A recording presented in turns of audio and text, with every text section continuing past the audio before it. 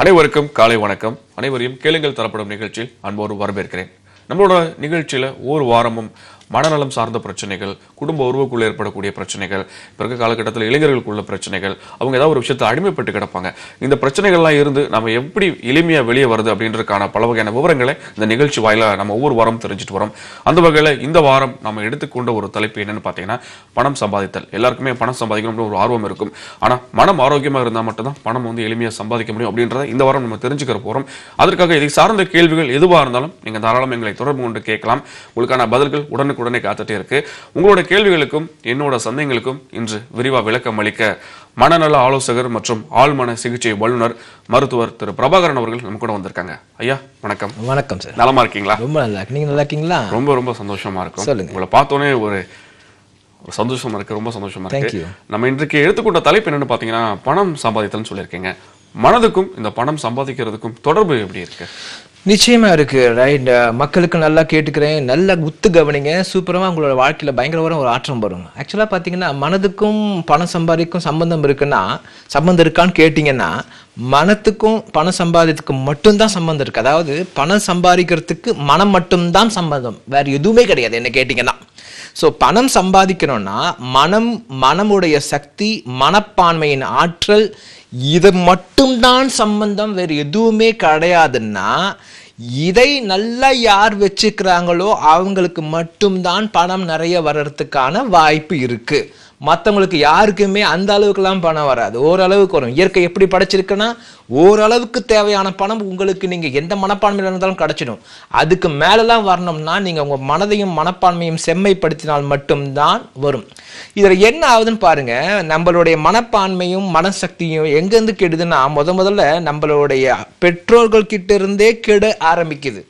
அதாவது உங்களுக்கு நல்லா புரிய வைக்கிற இரண்டு வகையான அப்பா எடுத்துக்கலாம். ஒருத்தர் நல்லா படித்த அப்பா இன்னொருத்தர் பணக்காரர் அப்பா. ம், இரண்டு அப்பா வச்சுக்கலாம். இரண்டு தந்தையர்கள். இந்த இரண்டு தந்தையர்கள் வளர்க்குறத பாருங்களேன். இப்போது நல்லா ஒரு படித்த தந்தை என்ன பண்ணுவார்? தம்பி எப்படியாவது நல்லா படிப்பா? படிச்சுட்டு நல்லா டிகிரி முடிச்சுட்டு எப்படியாவது நல்ல ஒரு வேலையாக போய் செட்டில் ஆகிடு உனக்கு பிரச்சனையே கிடையாது. ஒரு டைப்பிஸ்டான அப்பா என்ன பண்ணுவார்? நல்லா படிச்சு நீ டைப்ரைட்டிங் கற்றுக் கொடுத்து டைப்பிஸ்ட் ஆகணுவார். இல்லை குமாஸ்தா வேலை செய்கிற அப்பா என்ன பண்ணுவார்? எப்படியாவது என் பையனை படிக்க வச்சு ஒரு கவர்மெண்ட்டில் குமாஸ்தாவாக ஆக்கணும். இதே தான் அவருடைய ஃபோக்கஸாக இருக்கும். இதையே சொல்லி சொல்லி சொல்லி சொல்லி உங்களை வளர்ப்பாங்க. அதுவே ஒரு பணக்காரர் அப்பா என்ன பண்ணுறாங்க பணக்கார தந்தை பாருங்கள் தம்பி நல்லா படி காலேஜ் முடி சொந்தமா தொழில் தொடங்கு. சொந்தமா நீ வியாபாரம் பண்ணு. இந்த மாதிரி தான் புதுசா எதுனா கண்டுபிடி. இல்லை பணமாக்க பாரு பணம் தான் வாழ்க்கையில் முக்கியம் அப்படின்னு சொல்லிட்டு சின்ன வயசுல இருந்தே அப்படி கற்றுக் கொடுத்து வளர்க்குறாங்க. ஸோ படி காலேஜ் முடி வேலைக்கு போ.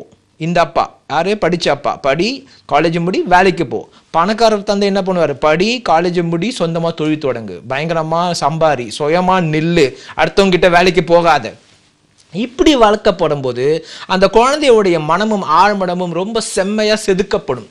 செதுக்கப்படும் போது இந்த பணக்காரர் வீட்டில் வளர்ந்த குழந்தை என்ன பண்ணுன்னா ஒரு பணம் சம்பாதித்தல் முதல்ல ஈஸின்ற மனப்பான்மையில் வளரும். கேட்டுருக்க நீங்கள் எத்தனை பேர் இதை வச்சுருக்கீங்க மனப்பான்மையாக பணம் சம்பாதித்தது ஒரு பெரிய விஷயமே கிடையாது. ஈஸியாக சம்பாதிக்கலாம். எத்தனை பேருக்கு அந்த மனப்பான்மை இருக்குது பண விஷயம்னா பயம். இருக்கிற பணத்தை சேர்த்து வச்சுக்கணும். பணம்ன்றது வரவே வராது. விதிப்படி தான் வாழ்க்கை. இந்த மாதிரி தான் உங்களுடைய சிந்தனைகள்லாம் இருக்குது இந்த சிந்தனைகள் மாறாமல் பணம் வர வாய்ப்பே இல்லை. நீங்கள் அழகாக நீங்கள் மாற்றிக்கலாம் என்னுடைய பயிற்சி வகுப்புலையோ என்னுடைய சிகிச்சையிலோ இல்லை இப்படியே வாழ்ந்துட்டு உங்கள் வாழ்க்கையை முடிச்சிடலாம். அவ்வளோதான் பெரிய மாற்றம் வரவே வராது. நாங்கள் எப்போதுமே நான் சொல்லுவேன் பணம் சம்பாதிக்கணும்னா மனசை நல்லா செம்மப்படுத்தணும் இல்லையா?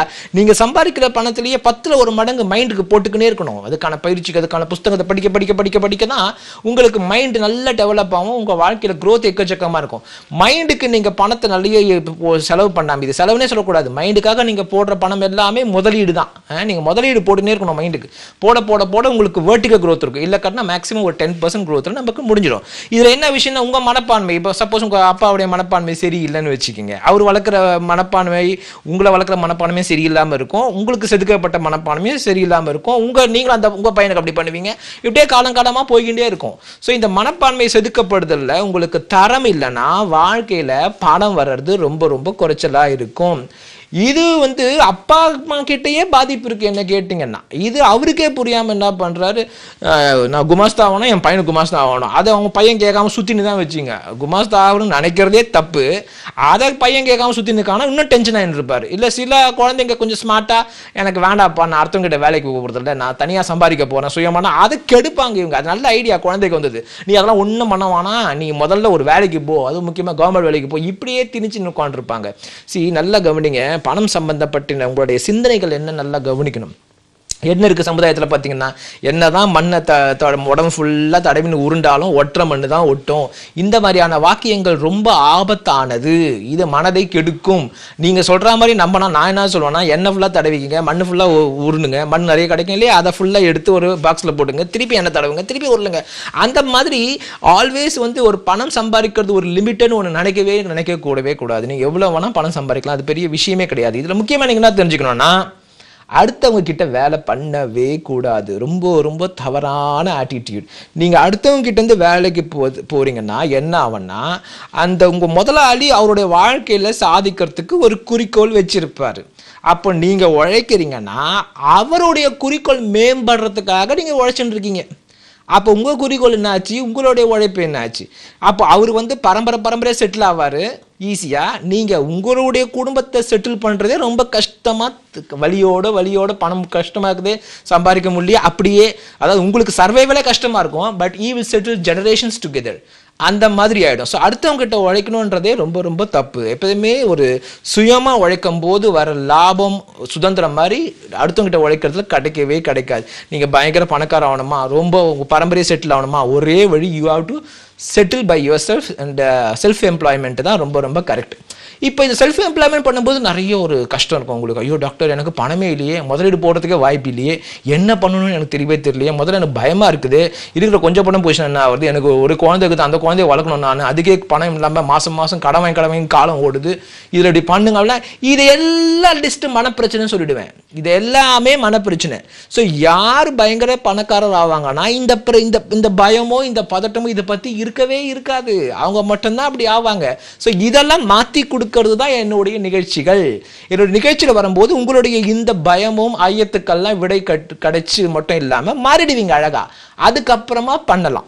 ஸோ முதல்ல நீங்கள் என்ன பண்ணணும்னா நிறைய பேர் இது ஒரு பக்கம் ரைட் வளர்ச்சி பண்ண முடியல. இன்னொரு பக்கம்னு பார்த்தீங்கன்னா ஏற்கனவே கொஞ்சம் வியாபாரம் பண்ணவங்க என்ன பண்ணுவீங்கன்னா லாஸ் ஆகிட்டுருக்கும் இல்லை உங்களுக்கு ப- பணம் நிறைய கடன் ஆகிட்டுருக்கும் சி எப்பவுமே நான் சொல்வேன் வியாபாரம் தோற்காது.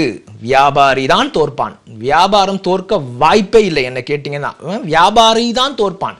நீங்கள் எந்த வியாபாரம் ரொம்ப கஷ்டமாக இருக்குது கடனாக இருக்குது காம்படிஷன் அதிகமாக இருக்குது முடியலன்னு சொல்கிறீங்களோ அதே வியாபாரத்தை இன்னும் பல வியாபாரிகள் ரொம்ப நல்லா பண்ணிட்டு இருக்காங்க. ஒரு ஹோட்டல் பிஸ்னஸே உங்களுக்கு நல்லா போகலாம் பெரிய பெரிய ஹோட்டல் எல்லாம் ரொம்ப நல்லா பண்ணிட்டு இருக்காங்க. அப்போ ஓட்டல்ன்ற வியாபாரத்தில் குறை இல்லை. அதை பண்ணுற வியாபாரி உங்களுடைய மனதில் தான் குறை இருக்கிறது. ஆக்சுவலாக எந்த ஒரு பிஸ்னஸும் ஃபெயில் ஆகாது சார் சான்ஸே கிடையாது. பிஸ்னஸ்ன்றது உங்களை பெருசாக சந்தோஷமோ சுதந்திரமோ வெற்றியும் கொடுக்கறதுக்காக ஏற்பட்ட ஒரு சிஸ்டம் உங்களுக்கு அந்த பிஸ்னஸ் ஆசை வந்தாலே நீங்கள் கொடுத்து வைத்தவர்கள் நான் சொல்லுவேன். புரியுதுங்களா? அது ஒரு பெரிய ஒரு விஷயம். ரொம்ப அழகாக நீங்கள் சாதிக்கலாம். ஆனால் பிஸ்னஸ்ன்றது தோக்காத போது அப்போ அப்போ பிஸ்னஸ் தோக்குதுன்னா அதை பண்ணுறவங்க கிட்ட ஏதோ கோளாறு இருக்குன்னு அர்த்தம். எடுத்த உடனே பயங்கரமாக பணம் இன்வெஸ்ட் பண்ணிடுறது. இல்லை எப்படி பண்ணுறதுன்னு தெரியாமே பிஸ்னஸ் ஆரம்பிச்சு தப்பா மாதிரி பணத்தை வாங்கிட்டு இல்லை கட்டினா போட்டி எப்படி சமாளிக்கணுன்ற ஞானம் கிடையவே கிடையாது. இல்லை வியாபாரத்தை எப்படி நுணுக்கமாக பண்ணுறதுக்கான தெளிவு இல்லை. கஸ்டமருடைய எப்படி அட்ராக்ஷன் பண்ணி உங்களோட பர்மனன்ட் கஸ்டமரை ஆக்கணுன்றதுக்கான உங்களுடைய திறமை இல்லை. இதெல்லாம் நீங்கள் முதல்ல பயிற்சியில் மாற்றிக்கணும் அப்புறம் தான் பிஸ்னஸ்க்குள்ள வரணும்.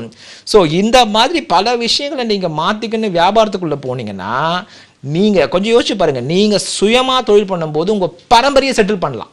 ரொம்ப நல்லா வாழ்வாங்க எல்லாரும். பையன் பேரன் எல்லாம். ஆனால் நீங்கள் அடுத்தவங்கிட்ட வேலை செய்யும் போது என்ன ஆகுன்னா உன்னுடைய உன்னுடைய குடும்பத்தை நடத்துறதே ரொம்ப கஷ்டப்பட்டு கஷ்டப்பட்டு நடத்துவீங்க டெய்லி புரியுதுங்களா? ஆனால் உங்களுடைய முதலாளியோடைய பரம்பரை செட்டில் ஆகும். நீ எப்படி யோசிக்கணும்? நீ எப்படி நடக்கணும்? நீ எப்படி வேலை செய்யணும்? எல்லா உன்னுடைய மூளையுடைய சக்தியும் உங்கள் முதலாளி கட்டுப்படுத்திடுவார். அப்புறம் என்னத்தை பண்ண முடியும்? உங்களுக்கு சுதந்திரமே கிடைக்காது. நீ இந்த நேரத்தில் வரணும். நீ இப்படி தான் யோசிக்கணும். நீ இதை பண்ண போதும். வேறு எதுவும் யோசிக்க வேணாம். இப்படி பண்ணி பண்ணி பண்ணி பண்ணி ஒரு ஆறாவது அறிவு உள்ள ஒரு மெச்சூர்டு இண்டிவிஜுவல் திறமையான ஒரு அறிவு இருக்கிற ஒரு ஆ- ஒரு ஒரு ஹியூமன் பீயிங் ஒரு மெஷின் மாதிரி அவருடைய எண்ணத்துக்கு ஏற்ற மாதிரி சிதைக்கப்படுவீர்கள். இந்த மாதிரி வாழ்கிறத விட நீங்கள் சுயமாக பண்ணி பண்ணும்போது தான் சூப்பர் இதில் என்னென்ன உங்களுக்கு சந்தேகம் இருக்குன்னு நீங்கள் எது வேணால் நீங்கள் கேட்டு அதுக்கான பயிற்சி அட்டன் பண்ணணும். உடனே இப்போ கேட்குறதுட்டு உடனே பண்ண முடியாது. கேட்குறதுல என்ன தெரியுதுன்னா உங்களுக்கு எது உண்மைன்னு புரியுது. அப்புறம் அந்த உண்மையை நீங்கள் ரிசல்ட்டாக மாற்றணும்னா அதுக்கான பயிற்சிகள் அதுக்கான சிகிச்சைகள் அதுக்கான டிவிடிக்கள் அதுக்கான புக்குக்கள்லாம் நீங்கள் பார்த்து பார்த்து பயிற்சி பண்ணும்போது ஒரு மூணு மாதத்துக்குள்ளே செட் ஆயிடலாம். அப்புறம் டக்குன்னு அழகாக நீங்கள் பிஸ்னஸ் ஆரம்பிக்கலாம். ஸோ இதை பற்றி நல்லாவே அழகாக மாற்றத்திற்காக தான் என்னுடைய நிகழ்ச்சி. ரைட் இப்போது இருபத்தி ஆறாம் தேதி வருது இல்லையா? அந்த நிகழ்ச்சி ஃபுல்லாக பணக்காரராக்கிறதுக்கு எல்லா ஏ- மக்களையும் நல்ல ஒரு பணம் விஷயத்தில் ரொம்ப வளமாக மாற்றுறதுக்காக நிகழ்ச்சி தான் அந்த நிகழ்ச்சி. உங்களுக்கு ஜனவரி இருபத்தி ஆறாம் தேதி வருது. இந்த நிகழ்ச்சி வந்து ஜனவரி இருபத்தி ஆறாம் தேதி வருது சார் அந்த இருபத்தாறாம் தேதி என்னன்னா ஸ்ரீதேவி ஃபைன் ஆர்ட்ஸ் நடத்துறாங்க சென்னையில. இது பயங்கரமாக ஒரு நல்ல பணம் சம்பாதித்து நிம்மதியாக வாழ்வது அதற்கான மாற்றங்களை. இது வந்து ஒரு நிகழ்ச்சினா நான் பேச நீங்கள் கேட்குறது கிடையாது. நான் பேச பேச உங்கள் எண்ணங்கள் தானாக மாறிடும். அந்த ரெண்டு ஹவரில் ஒரு மாற்றமே வரும். அதனால் நீங்கள் என்ன பண்ணோம் இப்போ டிவிடி பார்த்தா கூட நேரடியாக ப பண்ணும்போது நிகழ்ச்சி நீங்கள் அட்டன் பண்ணும்போது அதில் பவர் ரொம்ப அதிகம். ஏன்னா நான் ஹிப்னாட்டிஸ்ட் நான். நான் பேசும்போது என் ஆழ்மன சக்தி வெளியில் அமுச்சு தான் நான் பேசுவேன். அந்த ஆழ்மன சக்தி உங்கள் மேலெல்லாம் படும்போது உங்களுக்கு ஈஸியாக மாற்றம் ஃபஸ்ட் ஃபஸ்ட் கிளாஸாக வரும். அதுவும் நிகழ்ச்சி அட்டன் பண்ணும்போது என்ன பண்ணோம்? முன்னாடி உட்காந்துருக்க டிக்கெட் வாங்குங்க. ஏன்னா பின்னாடி பின்னாடி பின்னாடி போகாதீங்க. பின்னாடி பின்னாடி போனால் ரொம்ப உங்களுடைய என்னோட குரல் மட்டும் தான் கேட்கும்.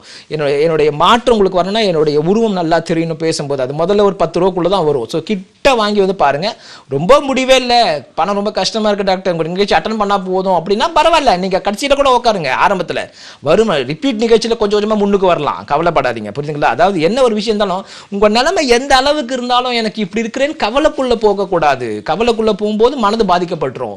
இந்த இந்த மாதிரி நான் இருக்கிற என்னுடைய நிலைமையை நான் சூப்பரா மாத்தி காட்டுறேன் பாரு அப்படின்னு சொல்லிட்டு அந்த மனப்பான்மையை வச்சு கொஞ்சம் கொஞ்சமா உழைச்சி உழைச்சி உழைச்சி சிஸ்டமேட்டிக் க்ரோத் பண்ணணும். அப்படி பண்ணாம எனக்கு இந்த நிலைமை இப்படி இருக்குதுன்னு சொல்லிட்டு ரொம்ப கவலைக்குள்ளவே உட்காந்துங்கன்னா அது வியாபாரத்து மூலமா வந்தாலும் சரி மனைவியுடைய பிரச்சனை வந்தாலும் சரி குழந்தை பிரச்சனை யாருமே கவலைன்ற எமோஷனை வளர்க்கவே கூடாது.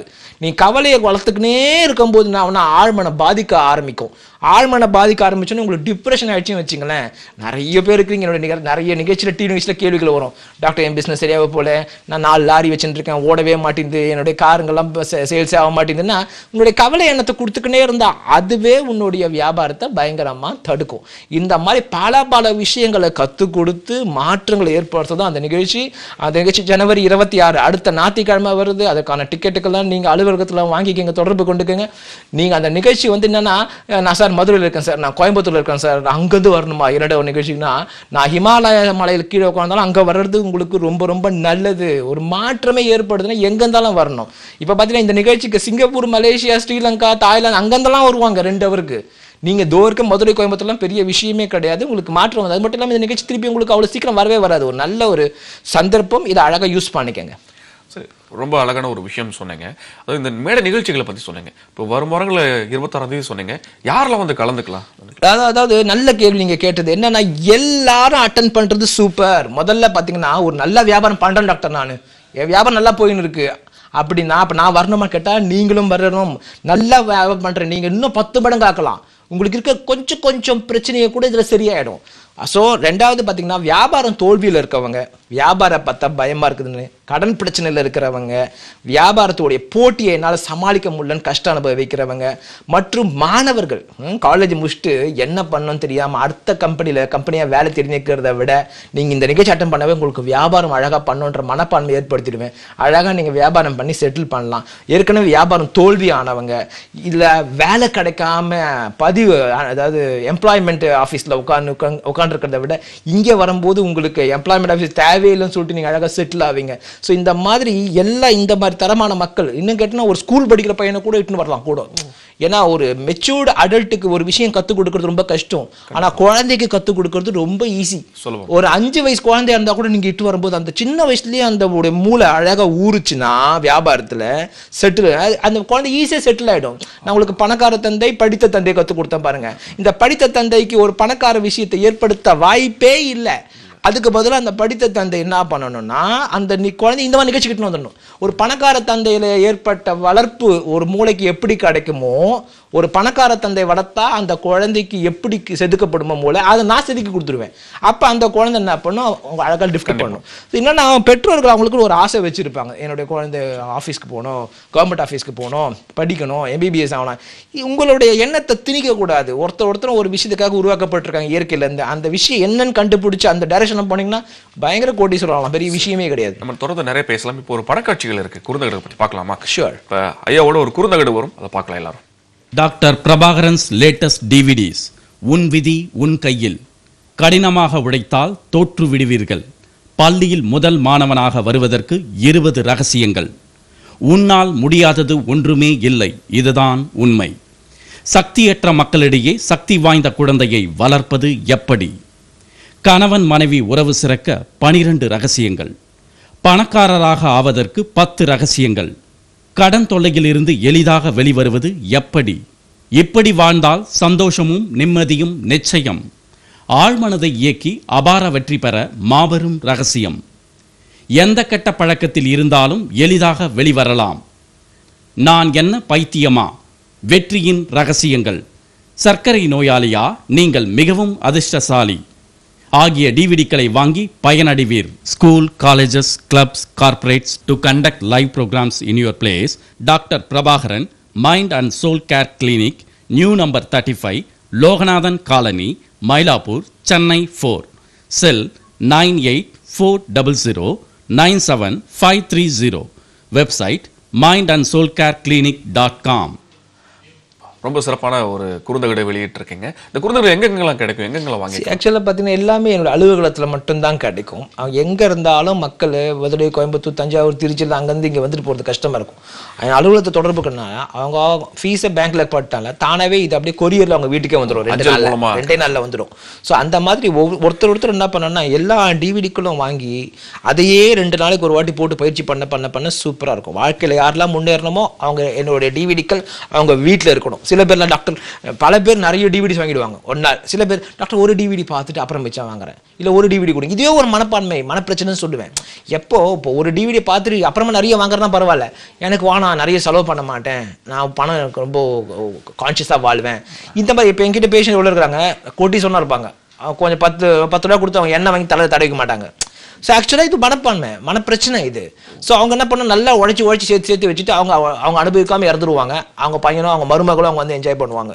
ஸோ இந்த மாதிரி தனக்கு செ செலவு பண்ணாமையே மக்களை காப்பாற்றுறது தன் குடும்பம் நிறைய பேர் நீங்கள் கேள்விப்பட்டிருக்க அவங்க தியாகியாக தான் இருப்பாங்க. அடுத்தவங்க தான் பண்ணுவாங்க. அது ரொம்ப ரொம்ப தப்பு. அவங்களே வாழ்க்கை என்ஜாய் பண்ணணும்? உன்னுடைய ஆழ்மனை ரொம்ப பலமானது. உங்களை கவனிச்சுக்கினே இருக்கும். எல்லா ஆங்கிள்லையும் நீங்கள் ரொம்ப பண விஷயத்தில் என்னால் ஈஸியாக பண்ண முடியும்னு இருக்கியா? அப்போ தான் உங்களுக்கு பணம் ரொம்ப அதிகமாகும் சரி. தொடர்ந்து பேசலாம். ஒரு நேயர் இருக்காங்க. மக்கள் வணக்கம்.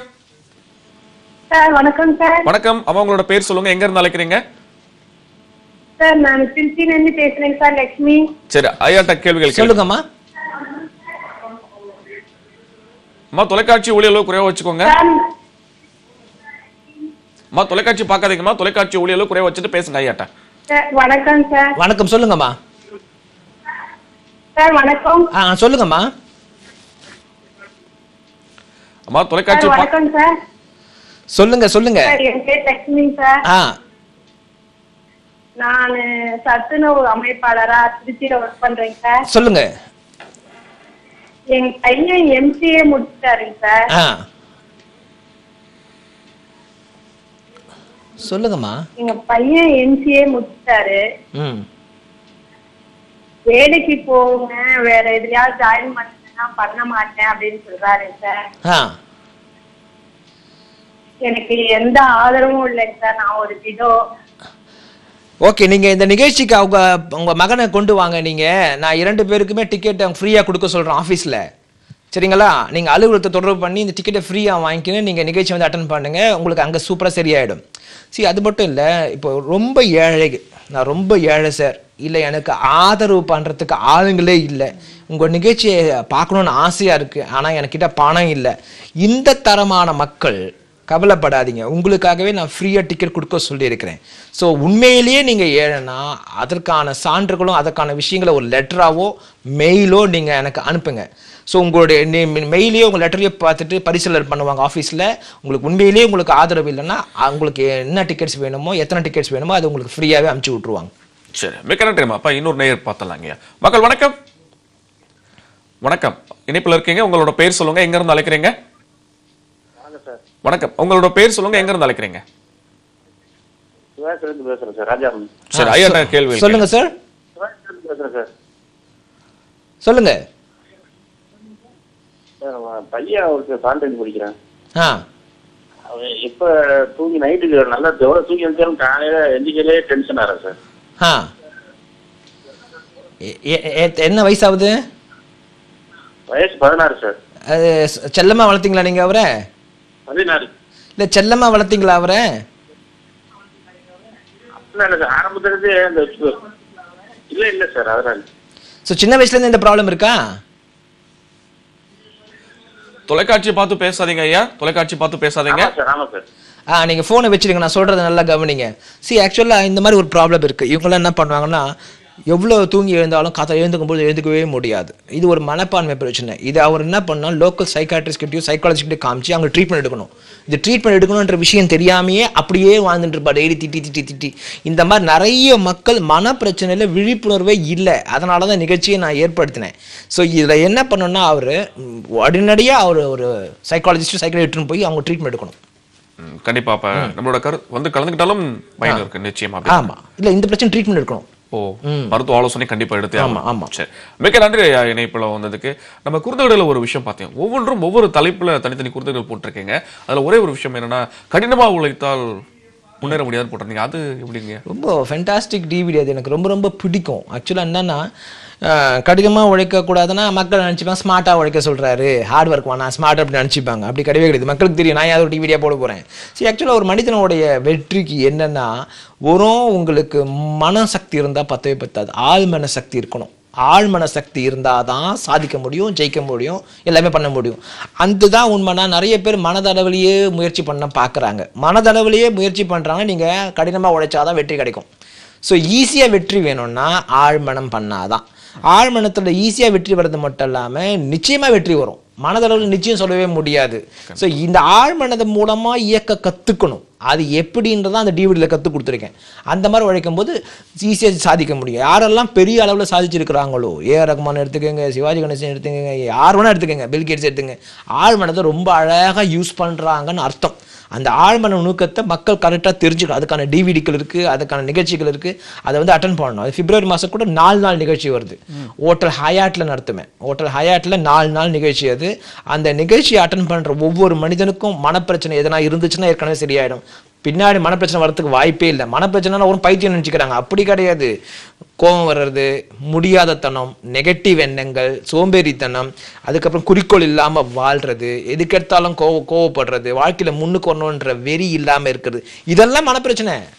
இதெல்லாம் கம்ப்ளீட்டாக சரி பண்ணிக்கலாம். தன்னுடைய எண்ணத்தை அடுத்தவங்க மேலே திணிக்கிறது மற்றும் கெட்ட பழக்கத்தை சிக்கிக்கொண்டு அதே பண்ணிக்கினே வாழ்ந்துன்னு கிடக்கிறது. இப்போ ஒருத்தர் இருபது வருஷமா ஒரு கெட்ட பழக்கத்தில் உட்காந்து அதே பண்ணிருக்காரு வெளில வரல வெளில கவலைப்பட்டுனே இருக்கிறத விட ஒரே வாரத்தில் ஃபுல்லாக சரியாயிடலாம். ஓ ஒரு வாரம் போதும். போதும். இருபது வருஷம் வாழ்ந்த வாழ்க்கையே வேஸ்ட்டு கண்டிப்பா. அது மட்டும் இல்லாமல் அவர் பண்ணுறதை பார்த்து அந்த பையன் வளர்ந்து வளர்ந்து அவனுக்கு நம்பிக்கையின்மையை ரொம்ப அழகாக செதுக்கி இருப்பார் ஒவ்வொரு அப்பா அம்மாவும் குழந்தைய வளர்க்குறன்ற பேரில் குழந்தைய அழிக்கிறாங்க. குழந்தை குழந்தைய வளர்க்குறது எந்த அப்பா அம்மா குழந்தைய உண்மையிலே வளர்க்குறாங்கன்னா அவங்களுடைய மனதை ஆரோக்கியமாக வளர்த்து விடணும். அப்போ அந்த அப்பா அம்மா குழந்தைய வளர்க்குறாங்கன்னு அர்த்தம். அப்படி இல்லாமல் எல்லா அப்பாவுமே சொத்து சேர்த்து குழந்தைய கொடுத்துட்டு போகலான்னு பார்க்குறாங்க அந்த சொத்தெல்லாம் அழிச்சிடுவோம் அழிச்சிட்டு என்ன பெருசாக நீ கொடுத்துட்டு ஊர் உலகத்தை கொடுக்குறதுன்னு கேட்பான். எல்லா அப்பா அம்மா தான் கொடுக்குறாங்க. அதுக்கு பதிலாக மனதை ஆரோக்கியமாக வளர்த்து கொடுத்தா ஒரு கையில் அவன் வாழ்க்கை அவன் நல்லா பார்த்துக்கும் இன்னொரு கையில் உங்களை பத்திரமா பார்த்துப்பான் அப்பா அம்மாவை. ஸோ இது வந்து ரொம்ப படிச்சவங்களுக்கும் ரொம்ப பணக்காரங்களுக்கும் அவங்களுக்கு மட்டும் தான் இந்த ரகசியம் தெரியும். இப்போ நிகழ்ச்சி வரவங்களாம் யார் வரணும்னா வசதி இல்லாதவங்க நிறைய சம்பாதிக்காதவங்க நிறைய படிக்காதவங்க அவங்க தானே வரணும்? வரவங்கெல்லாம் ஏற்கனவே சாதிச்சவங்க தான் திரும்ப திரும்ப வந்துக்கிட்டே இருப்பாங்க. இந்த நிகழ்ச்சியுடைய சக்தி சாதிச்சவங்களுக்கு மட்டும்தான் தெரியும். ஸோ ஏற்கனவே சாதிச்சவங்க ரிப்பீட் ப்ரோக்ராம் வந்துக்கினே இருப்பான். இப்போ அமெரிக்காவில் தான் பார்த்தீங்கன்னா இந்த மாதிரி நிகழ்ச்சிகள் வாரம் வாரம் வந்துக்கினே இருக்கும். புது படம் ரிலீஸ் ஆகும். அந்த தியேட்டர் காலியாக இருக்கும். ஆனால் இந்த மாதிரி நிகழ்ச்சிகளுக்கு டிக்கெட் கிடைக்காது. அந்த மாதிரி ஒரு கலாச்சாரத்தை நான் இங்கே ஏற்படுத்தணும்னு சொல்லிட்டு தான் நான் அங்கெல்லாம் செட்டில் ஆகும் நான் ஈஸியாக யூஎஸ்எஸ் செட்டில் ஆயிடலாம். ஆனா நம்ம மக்கள் நம்ம இந்தியாவை காப்பாற்றணும் நம்ம தமிழர்களை காப்பாற்றணுன்ற அதே எண்ணத்துல இங்க இருக்கேன். இந்த கலாச்சாரத்தை நான் ஏற்படுத்திக்கிட்டு இருக்கேன். இன்னும் ஒரு ஒரு வருஷம் ரெண்டு வருஷத்துல அப்படி ஆயிடும் இங்கேயும். ரொம்ப அழகா. ஸோ இதை பண்ண ஏன் அங்க வார வாரம் நிகழ்ச்சி இது வெற்றி பெறுது படம் வரலன்னா அங்க மன பிரச்சனை அதிகம் அமெரிக்காலாம் அங்க. அதனால இந்த மாதிரி நிகழ்ச்சிக்கு மூலமா அவங்களுக்கு ஒரு ரிலீஃப் கிடைக்கும் முன்னேற்றம் கிடைக்கும். இங்கேயும் அந்த மாதிரி வர ஆரம்பிச்சிடுச்சு. இப்போ நிறைய ஃப்ரீடம் கொடுத்த தொட்டு இங்கே மனப்பிரச்சனை அதிகமா வர ஆரம்பிச்சிடுச்சு. இந்த மாதிரி நிகழ்ச்சி அட்டன் பண்ணும்போது தான் அவங்க விமோச்சனமா சூப்பரா பிரச்சனை எல்லாம் வாழ முடியும். சரி, நிறைய விஷயங்கள் சொன்னீங்க. அடிக்கடி சொன்ன வார்த்தைகள் ஆழ்மன பிரச்சனை சொல்லிட்டு அந்த ஆழ்மனதுனா என்னன்னு தெரிஞ்சு ஆக்சுவலாக பார்த்தீங்கன்னா ஒருத்தர் ஒருத்தர் மனது எங்க இருக்குன்னு நிறைய பேருக்கு தெரியாது. மனது எங்கன்னா இங்கேன்னுவாங்க இங்கே கிடையவே கிடையாது. மனது மனது எங்கன்னா மூளைக்குள்ளே தான் இருக்குது. நீ பிறந்த குழந்தையில இருந்து இப்போ வரைக்கும் உன்னோட தகவல்கள் என்னென்னலாம் இருக்கோ அது மூளை ரெஜிஸ்டர் ஆயிடும். அதுக்கு பேர் தான் மனசு. ஸோ அந்த மனது இரண்டு வகையா இயங்கும். ஒன்று வெளி மனது இன்னொன்று உள் மனது. அது உள் மனதுக்கு பேர் தான் ஆள் மனது. ஸோ நீங்கள் யாருன்றது எல்லாமே உங்கள் மனதில் ரெக்கார்ட் ஆயிருக்கும். அந்த யாருன்னு சொன்ன அந்த விஷயம் ரெக்கார்ட் ஆனா அந்த ரெக்கார்ட் ஆன விஷயத்தை கரெக்டாக நடத்துறதுக்கு ஆழ்மனம் பார்த்துக்கும். ஆழ் மனசு நீ ரெக்கார்ட் பண்ண மனதில் ரெக்கார்ட் பண்ண ஒரு விஷயத்தை தாண்டி நீ எதையுமே வாழ்க்கையில் அடைய முடியாது. அப்போ வாழ்க்கைனா என்னால் பணம் சம்பாதிக்க முடியாது. ரெக்கார்டாக இருக்கும் வாழ்க்கைனா என்னாலலாம் படிக்க முடியாது. வாழ்க்கைனா விதிப்படி தான் இதெல்லாம் ரெக்கார்டாக இருக்கும். இதெல்லாம் ஏற்றுக்கவே கூடாது. விதிப்படி தான் வாழ்க்கை. குருடன் கொம்புத்து எனக்கு ஆசைப்படக்கூடாது. இதெல்லாம் மோசமான விஷயம். ஸோ இதெல்லாம் எடுத்துட்டா வச்சுங்க அப்படியே உட்காந்துருப்பான் நான் குருடன்பா நான்லாம் கொம்புத்து நான்லாம் படிக்கவே படிக்கல. என்னால் முடியவே முடியாது. என்னால் முடியாதுன்ற வார்த்தை பயங்கரமான பாவப்பட்டவங்க யூஸ் பண்ணுற வார்த்தைகள் அதெல்லாம். அதை யூஸ் பண்ணவே கூடாது. இதை என்னால் முடியாதுன்னு வச்சிட்டிங்கன்னா ஆள் மனது அதை கரெக்டாக பண்ண வைக்கும். உன்னால் உன்னால் எவ்வளோ ட்ரை பண்ணால் உன்னை பண்ண வைக்காது. கட்டுப்படுத்த முடியாது. எவ்வளோ நீ ட்ரை பண்ணி வெளில வரணும்னு நினைச்சாலும் இது உங்களை விடாது. ஏன்னா ஆழ்மனதுன்றது அதாவது பிரபஞ்சத்துடைய சக்தி உங்க மூளைக்குள்ள இருக்குது. உங்களுக்கு நல்லா உங்களுக்கு உங்கள் ஆசைக்கு ஏற்ற மாதிரி வாழ வைக்கிறதுக்கு. உங்கள் ஆசை என்னது? என்னால் முடியாது. அது உங்கள் ஆசைன்னு எடுத்துக்கும். நீங்கள் என்னென்னலாம் சொல்றீங்களோ அது உங்கள் ஆசைன்னு எடுத்துக்கும். உங்கள் ஆசைப்படி தான் உங்கள் ஆள் மனசு வாழ வைக்கும். நீங்கள் எதெல்லாம் சொல்கிறீங்களோ உங்கள் ஆசை நினச்சிக்கும். எனக்கு குடிக்கும் குடிக்கணும் குடிக்காமல் இருக்க முடியாது. அது உங்கள் ஆசை நினச்சிக்கும். அதை நீங்க எவ்வளோ ட்ரை பண்ணாலும் மனதில் ஒன்று ரெக்கார்ட் பண்ணிட்டு நீங்க எவ்வளோ ட்ரை பண்ணாலும் உங்களுக்கு மாற்ற முடியாது. இதுல ஆழ் மனசு என்ன பண்ணலாம்? நான் ட்ரீட்மெண்ட் பண்ணும்போது ஹிப்னாசிஸ் பண்ணுவேன். ஹிப்னாசிஸ் பண்ணும்போது ஆழ் மனசை ரிலாக்ஸ் பண்ணிட்டு அஹ், சரி மனசு ரிலாக்ஸ் பண்ணிட்டு மிச்சம் ஆழ் மனசு. டைரக்டா நான் ஆழ் மனசுக்குள்ள சொல்லுவேன். உங்களால இப்போ உங்களுக்கு வந்து பயங்கரமா படிக்கணும். ஒரு ஒரு நாளைக்கு பத்து ஹவர் படிக்கணும் இங்கே கொடுக்கும்போது ஆழ் மனசு மனசு கிட்ட சொன்னா மனசு கேட்டாகும் கேட்டு கேட்டாகணும். நீங்க சொன்னா உங்க மனசு கேட்காது. உங்க ஆழ் மனசு சொன்னா கேட்டாகணும். ஸோ அது சொன்னா அப்படியே கேட்கும். இந்த மாதிரி எதை வேணா மாத்திக்கலாம். ரொம்ப சிறப்பியா? இவ்வளவு நேரம் ஒரு முப்பது நிமிடங்கள் போனதே தெரியல.